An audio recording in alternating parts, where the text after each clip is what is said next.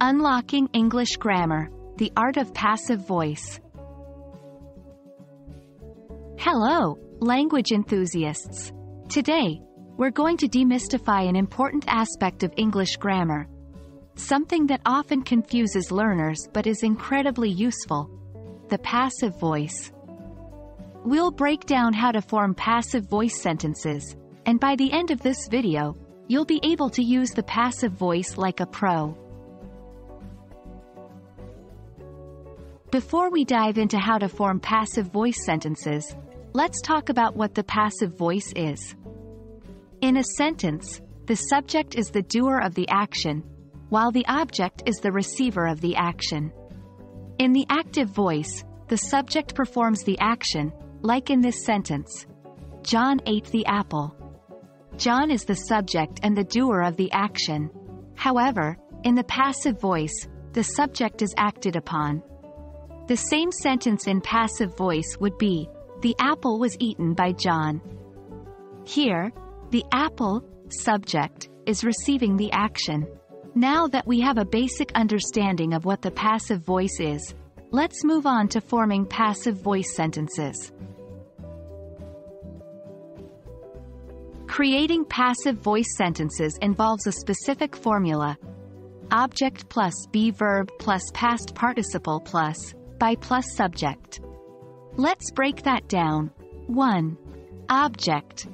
This is what receives the action. It becomes the new subject in passive voice sentences. 2. Be verb. This is the verb, to be. Am, is, are, was, were, be, been. That matches the tense of the original sentence. 3. Past participle. This is the third form of the verb. E.g., for eat, it's eaten. 4. By plus subject. In the passive voice, the original doer of the action can be included after by. However, it's not always necessary. For example, if we have the sentence, she sings a song, active voice, we can make it passive as follows. 1. Object. A song. 2. Be verb. Is, because, sings, is present simple. 3. Past participle. Sung. The past participle of sing. 4. By plus subject, by her. So, the passive voice of she sings a song is a song is sung by her. Remember, we don't always need to include by plus subject. If it's clear who the action performer is, or it's not important, we can omit it. So, a song is sung is perfectly acceptable. It's important to remember that the passive voice can be used with different tenses. The tense is determined by the be verb. Let's quickly go over how the be verb changes with tenses. Present simple is, are, am. Past simple was, were.